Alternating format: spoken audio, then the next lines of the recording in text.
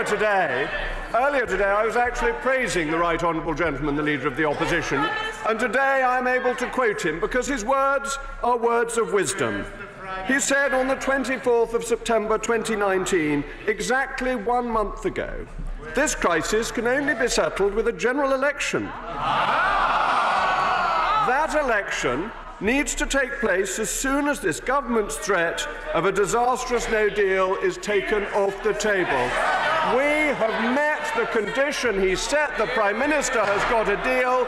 No deal is off the table. And yet, for some reason, the opposition still doesn't want a general election. But, Mr. Speaker, we know why this is. We know why they won't have an election. It's because they're afraid of the voters. Are the voters, so feeling disenfranchised are they with their socialist um, friends that the socialists are running away from an election. Mr. Speaker, isn't it not saddening that Scotland the brave used to be the call that we would get, and now it's Scotland the runaway, Scotland the let's not have an election. The SNP, who wish to challenge the government, actually want us to stay in office. I never thought that the broad coalition of the United Kingdom would have the Scottish Nationalist Party supporting a Tory government remaining in office. I look forward to that appearing on our election leaflets. But it occurs to me, Mr. Speaker, that tomorrow is St Crispin's Day, the anniversary of Agincourt. What a good day it might be for us to meet and show our independence of spirit. Elizabeth Jenkins. Can I thank my right honourable friend for his statement? And can I just uh, remind him that uh, people in this House are blocking Brexit in the name of the sovereignty of Parliament. But whose is this sovereignty? What sovereignty do we hold that does not come from the British people? And shouldn't now the British people be allowed to decide who represents them in this House? Yeah. Mr. Speaker, as so often, I bow to my honourable friend's constitutional expertise. It is quite clear that the sovereignty of this House did not fall upon us like a comet from heaven. It comes to us from the British people. It is the people's sovereignty delegated to Parliament.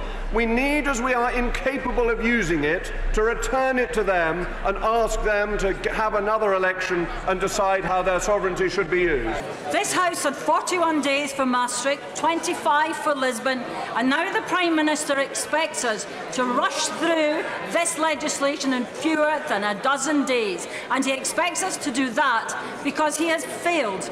He tried to prorogue Parliament in order to rush this through and get us off the cliff without a deal. He has failed. The Liberal Democrats will not support this until we can be sure that this country will not be crashed out of Brexit and the electorate has the choice. It's always exciting, Mr Speaker, to discover what the position of the Liberal Democrats is because it changes like a weather vane. Crispin Blunt. Does my right honourable friend agree that if the President of France stands firm and declines us the extension, that there is still plenty of time next week to get the withdrawal bill passed um, by this House and in the other place, given the position all of the other side have taken on the unacceptability of no deal, and then the general election itself can then decide who is negotiating the future relationship uh, between the United Kingdom and the European Union. Mr Speaker, if there were a will to get the bill through, it could of course be done. Yes, my honourable friend, my right honourable friend, is absolutely right, uh, and that it would satisfy the European Union, it would get the deal done, we would have left, and we could do it by the 31st of October, and that is what we should aim to do. Regarding Monday's business, before the House considers the second reading of the Environment Bill, members will have an opportunity to debate and approve a motion relating to an early parliamentary general election. Business statement. Mr. Speaker, tomorrow we will find out what extension has been granted. We opposed the Prime Minister's withdrawal agreement bill, but it passed second reading. Several of my Labour colleagues have voted for that bill, not because they support the Prime Minister's deal, because they wanted to scrutinise it, amend it and debate it. That's how Parliament works. As, That's how Parliament works. That's your job. as is the normal process in this House. We on this side offered the Prime Minister our support for a proper timetable to enable the withdrawal agreement bill to be properly dealt with. And wait for it if the extension allows. M- Mr. Speaker, the Right Honourable Lady says the Prime Minister has not made sufficient time. In his letter to the Leader of the Opposition, my Right Honourable friend says we will make available all possible time between now and the 6th of November.